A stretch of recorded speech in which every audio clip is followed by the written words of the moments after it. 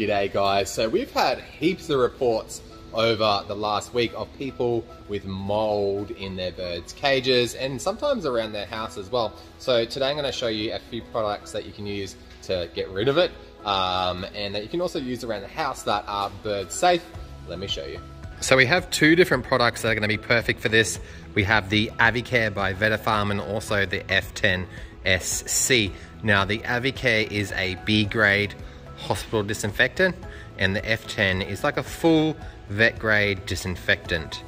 So if you're wanting something that's really easy, the Vetafarm Avicare kills viruses, bacteria and fungi.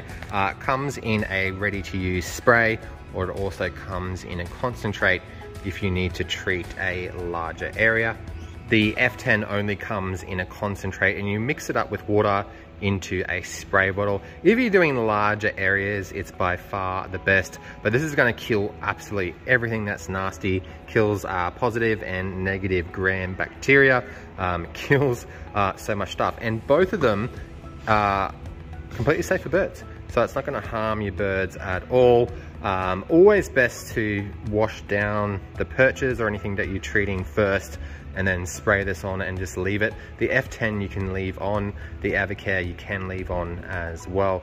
But you need to treat everything, everything that you can around the bird. So the bird's cage, the perches, uh, the bowls, and yeah, pretty much everything. Now, some stuff just can't be saved. I've had to throw some things out as well, some toys and some perches.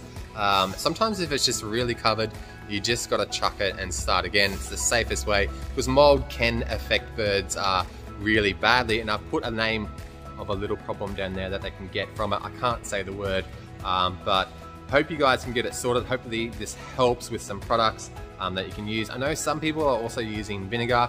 Um, I don't know how well it works later on after you know you, you sort of clean it if the mold's going to come back. I know with F10 it kills pretty much everything, um, so that would definitely be my go-to. But good luck